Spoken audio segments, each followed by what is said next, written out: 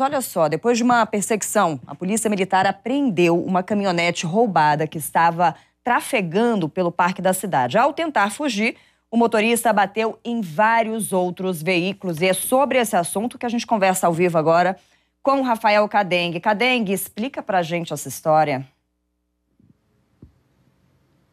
Pois é, Maíra, novamente, muito bom dia, viu? Olha, cenas aí de muita ação na manhã deste domingo, manhã, quase hora do almoço ali de domingo, principalmente na área central de Brasília. Isso porque esse motorista que teria roubado essa caminhonete na região do entorno, ele, no momento em que atravessava o parque da cidade, que, claro, todo mundo sabe, em pleno domingo, com um dia com sol, fica bastante movimentado, lotado, ele percebeu que estava sendo já perseguido pela polícia iniciou uma fuga alucinante. Inclusive, como você mesmo trouxe para a gente, ele bateu em vários carros que estavam estacionados ali no Parque da Cidade, mas foi interceptado já próximo a 507 Sul. A informação que chegou é que esse motorista tinha roubado essa caminhonete na região do Novo Gama, já na madrugada de domingo. E no momento então, então, então que ele foi preso lá na 507 Sul, ele confessou mesmo que tinha roubado esse veículo lá no Novo Gama e dentro desse, desse carro a polícia encontrou vários objetos roubados